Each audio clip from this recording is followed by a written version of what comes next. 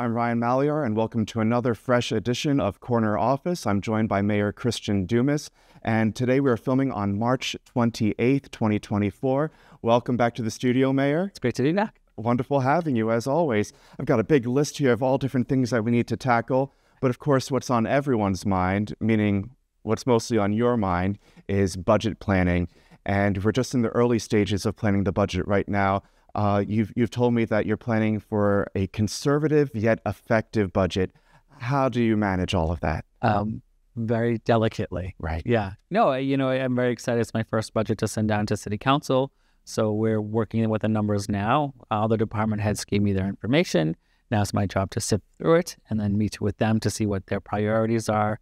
And so uh, we can work and work the numbers with that and then present it to City Council where they'll do their due diligence and uh, figure out what their priorities are. So, do you anticipate any big changes or any significant changes in the budget in any particular department or? Going to try and keep it as low as I possibly can. Absolutely. so that hopefully will stay the same. right.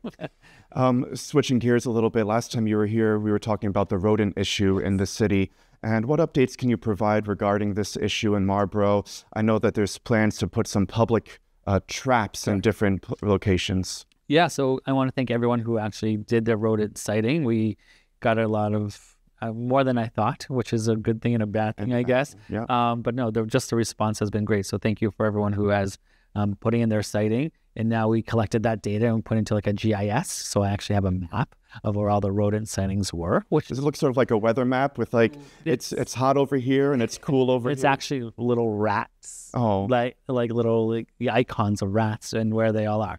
So we've been working with Board of Health and um, the building department to figure out now the next step is to figure out where those traps go. So that's the next step. So we'll be putting out an announcement once that's um, situated and uh, so the public is aware that hey these are happening and this is just going on. So we are still actively working on. I appreciate your patience with this. I know it's been an ongoing issue.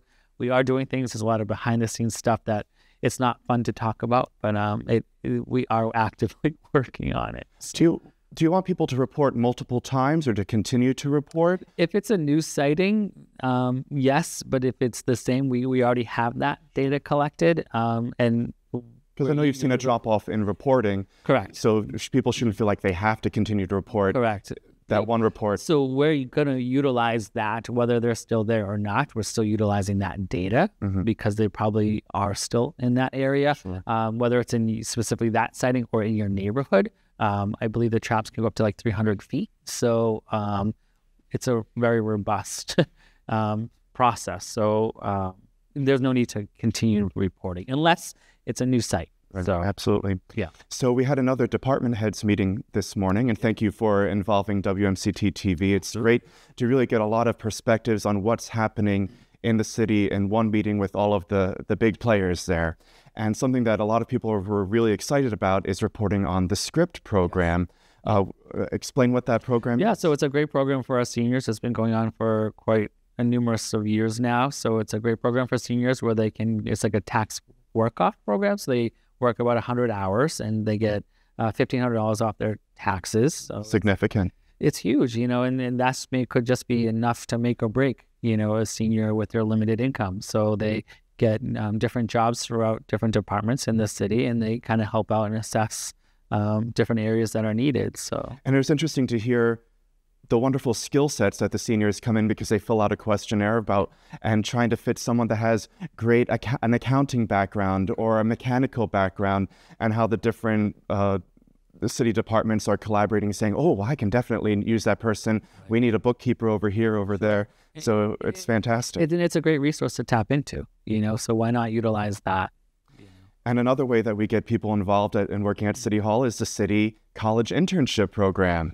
Yeah, which is extremely exciting. It's coming back, and applications will open up in April. So if you are a college um, student and want to work for um, the municipal government, we're happy to have you. Again, there's always projects that different department heads need. So if we can have talented young individuals that are excited about municipal government and get them engaged in a completely different way, then please submit your application because uh, we we definitely could use the help.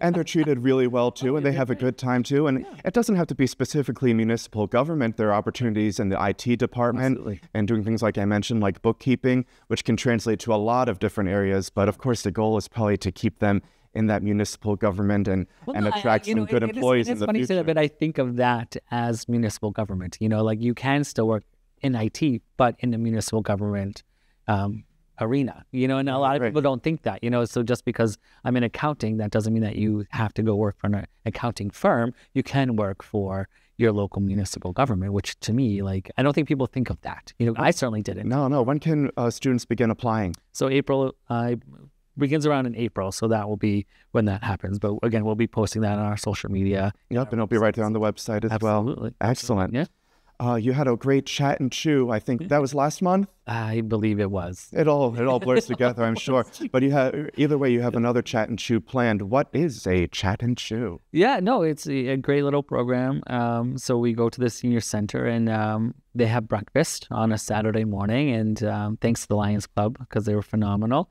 And now the Junior Women's is sponsoring the food this May 11th chat and chew. So it starts at 10 o'clock and they kind of seniors come in and they have to sign up and they can ask me any questions that they have and kind of get what's going on within the city. And it's about an hour and a half of Q and A with the mayor. Um, and it's great. You know, I think we had about 80 something seniors and there was like a wait list of 30. So it was very well received and they're excited to just to be heard, you know, and I guess my question is: Is this something only for for seniors? Because there are a lot of people that want to get this information. There is. So we are planning a town hall. Um, so we just need to lock in a date for that. But um, so this was kind of a mini version of that, um, kind of a test Yeah, test run, I guess, of what I can expect during a, a town hall. and I can only imagine that it's going to be a much larger capacity when you open up. That's the goal. I hope That's so. the goal. Hope Well, yeah. So again, I think that's whole the whole part of why I wanted to run. You know, is to have that mobile mayor's office where we are reaching out to the community so they can see firsthand questions, answers, and get it directly from the mayor's office. Like, no, this is my plan. This is actual. This is not actual. You know, um, and I think that's why it was such a huge hit for the seniors, and they're excited for the next one. Uh, so stay tuned for the town hall. I, I promise it's coming. It's been a very busy few, few months. Now, of course, it's a rainy March day right now, but I can just feel the spring and feel the summer coming, and I'm just like hoping the sky will just open up and just be beautiful any anytime soon. And you've decided to switch up the um the senior barbecue this year. A little bit, yeah. So uh, instead of having it at uh, Memorial Beach, we're going to have it right down at Ward Park. Um, it's closer to the senior center. It makes more sense from a transportation standpoint. You got parking there, and The parking, and we're not walking on sand, and it's more level. Um, you know, I think you bring your own beach chair, but it's kind of hard to be in the sand and kind of eat. So we're gonna move it to Ward Park and kind of keep it downtown, keep it local, keep it close to, to the senior center, and that way we can do more things, um, cornhole and bocce and horseshoes, and just kind of make it more of a backyard kind of feel. You know, again, um, get rid of the stuffiness of the beach and all that stuff, but there's all this stuffy about the beach. I just don't like sand in every day. You know, like it's just not a good thing. So It's always been a good time, and I'm I can't wait to see your your twist on it and see what you bring to the party. it's going to be a good time, and exactly what it is—a party. It is a party. Why not? right? Um, a different kind of party. The fire station subcommittees, these ongoing talks of subcommittees and the fire station project that have just been flooding my ears for a long time now. This is this a new committee that's being formed to to tackle this fire station? There's some returning members, you know, because they went through the process before. Um, some old city councilors or seasoned city councilor that was on it previous. Um, two new city councilors are on it as well. Um, obviously, fire, police, DPW, they're involved as well. Um, so yeah, so they the meeting or the group has been formed, and the first meeting is the first week of April. So I'm excited that that's starting and get that off the plate, so they can kind of figure out what the next where the location is going to be mm-hmm. and kind of And it is a long process, regardless of how quickly anyone wants this to move along, including the fire chief himself and all the related personnel, yourself included. It is a vetting process. It is a step by step arrangement to get from point A to having this finished building. Yeah, and I and I think that was kind of the goal during the inauguration speech. Is like, look, I, I appreciate that we need this, but it's not going to be an overnight thing. You know, again, trying to figure out which parcels of land we can obtain is a whole nother level regarding response times because obviously the whole point of having a west side fire station is those response times so trying to find a location that does respond to that is it's not an easy task and so once we narrow that down funding for it um, the process how big the, the fire station is going to be it, there's a lot of little details that cannot be overlooked right but uh, separate from the fire station, but public safety in general, they got some great new updates recently that they were talking about this morning. Yeah. Uh, can you rattle any of those yeah, off? No, um, we pitched to city council and um, a new fire truck, which is needed. Um, so we're excited for that. And then a new tower to Tower for radio signals. Radios, the radios have been upgraded. So that was towards the end of last year. So with the previous administration. So thankful for that. And um, as a city council, we we approved that, and now it's nice to see that they're actually getting upgraded and installed. And yeah, and it just feels like we're like the city's staying on top of these things, which are really so vital to the safety of the city. It, obviously, public safety is a huge concern, you know. So to be able to get these upgrades, it's it's extremely beneficial for the city overall, especially with the events that we do have. You know, God forbid something should happen at Ward Park. You know, the radios are going to work, or during Labor Day when there's a lot of cell phone service, do we have actual connections that so public safety can actually respond to God forbid an issue. Right, right. Another exciting thing that that pops up every year, and it's really wonderful to see the whole city get involved, is Project Clean Sweep. Yeah. And people put on their gloves, and they're able to. Uh, how does it work? You RSVP to pit for bags. Yeah, you and- can call DPW to to sign up and register. So if you have a big group, so we know that, that you're coming. So I mean, churches, organizations, different private businesses, they employees, they all come out, which is great. Again, we're cleaning up the community, which happens once a year, and uh, I mean, you can clean up the city at any time. At any time, you can give them a call and say, "Hey, can we get some garbage bags?" They won't say. They will no. never say no. I encourage that, but uh, it's just nice to see the community come together for one day and kind of pick up the pick up the city And how much trash is usually that's get picked? Well, I mean, we were just told this this morning, so I believe four to five tons of Tons. trash, which is disgusting but amazing.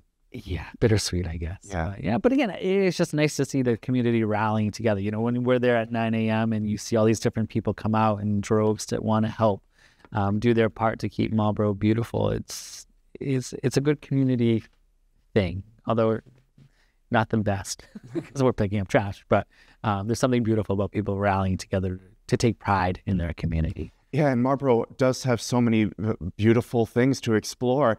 And you're going to be, are you leading a hike? What is this I am, here about yes. Mayor Christian out in nature? is yeah, it's not my thing. But um, uh, so clean sweep is April twenty seventh. April So we need to throw the date down Right, there. So April twenty seventh from nine to twelve. So you meet at DPW and um, but yeah, and then I'm on a hike, uh, and that's Before that, uh, on the twenty first. That's right. twenty first. So yeah, at eleven a.m. I'm going to walk around Galoni, and um, they run the Hike Mass Project. So um, again, and Marlborough has over forty miles of hiking trails. So it's just kind of showcasing that, and we'll be showcasing that hopefully all summer long the different trails because why not? You know, it's it's another thing that Marlborough has to offer, but it's it's a resource, it's free. There's been so much work done to make it accessible. At least large parts of the trail are Yeah. accessible for either for bikers or wheelchairs or, or different access. Yeah, and Pr- Priscilla in conservation does an incredible job. I mean, they, have a wike, uh, walking trail um, group that goes out and clears the trails nonstop. I mean, it's a huge effort, and again, not a lot of people know that, you know, and Eh, not that they need to know that, but it's oh, it's important for the mayor's office to showcase everything that I think the city has to offer. And to your point, it's great family fun day. You know, it, it's free. Eh, have a picnic and just walk the trails at Marlborough. You know, there's one 26.2 Panther Loop. I mean, you can basically walk a marathon and it's one big loop. And like, why wouldn't we encourage that, you know, to Right. be out in, in, in, the, in the city? So I'm looking forward to the to the hike. April 20. I think I had to buy some boots. I don't think I have any hiking boots. I should probably do Will, will you need bug spray in April? bug spray. Yeah, probably, probably. yeah. Sunscreen. Make sure you put on the sunscreen. you know, ticks, you know, I don't Oh. know, yeah. I just thinking of all the possibilities that that could happen. But I mean, I'm very excited again to Oh, well, it sounds like a lot of fun. and why not? Like you know, like this is the community that I grew up in. Grew up in. It's the community I live in. So why not utilize all the resources that it has to offer. Absolutely. Uh, one last note here is that I have um, on April 3rd, Congresswoman Trahan is going to be hosting a casework clinic, and that's going to be at the senior center, correct? Correct. From what happens in that sort of yeah, you know, so uh, what's great about the Congresswoman's office, they reach out to us. They've done this in other communities. And so it's just a resource for National Grid, Eversource, ARP, Comcast to come out and kind of explore. Oh, so it's going to be a lot of different vendors that you vendors. probably interact with yeah. on a regular basis. How they can save on their bill or what's going on with their bill. So if they have questions, um, other legislators will be there, Jamie Eldridge or Gregoire um, Gentile. So someone from their office will be represented. I can't guarantee if they will be there personally, but again, it's just an outreach, you know, for other people that hey, hey, have questions or concerns. So, Mass Health, um, Health Connector, Attorney General's office, I'll be there. Um, so it's just a great way to connect with different legislation. And I've noticed a trend recently that more of our local representatives are reaching out to have open office hours. I think uh, yeah. Gregoire just recently was yeah. uh, had some open office hours at the library. Correct. Uh, so it, it, yeah. I'm not sure if maybe it's trickling from you that this willingness to be out there and be open and and and have these face-to-face conversations. It's, I mean, it's spreading. I won't take credit for it, but I'll be happy to. No, sure. no. Again, I think that it, anytime there's an administration change, whether good or bad or indifferent, you know, and, no disrespect to the previous administration, but it, it, it, brings new life, you know, or new energy, you know, and I'm excited to be able to do that. And if other people respond to that, then then that's great. You know, but I'm excited to be at this clinic and just kind of give back to the community. So if the people want to come out, they they certainly can. And of course, we should note that these things that we ran through today are really more of the outward facing opportunities for the city to get involved. There's so much that goes on behind the scenes at, at City Hall that I'm not even privy to. It's all locked away up on the up on the fourth floor. Yeah, and secrets. All the secrets. No, no, no, no there's secrets. no secrets. No, no, and I think that's what's exciting about you know like mm, obviously being in this role for three months now. You never know the day to day, you know, and there's a lot of day to day, you know, but we're able to continue to still being outward facing. And that's, I think, the most exciting part of the administration um, to continue to be able to do that and come and share that information with the people that are watching at home or streaming. Um, and I thank you for the opportunity to do that. Well, wonderful. Well, thank you for joining us again today. It's been great. Next month. Can't wait. Yeah, well, that brings us to, to the end of another episode of Corner Office. I always forget I have to look at the screen here, but uh, thanks for tuning in. If you have any questions that you'd like for us to pass along to, to Mayor Christian Dumais, please send them along to, to me or reach out to his office directly. This is a great forum that we have here on WMCT TV to answer those questions or uh, shed light on new things that are happening right here in the city of Marlborough. I'm Ryan Malley, our executive director here at WMCT TV, and thank you so much for tuning in.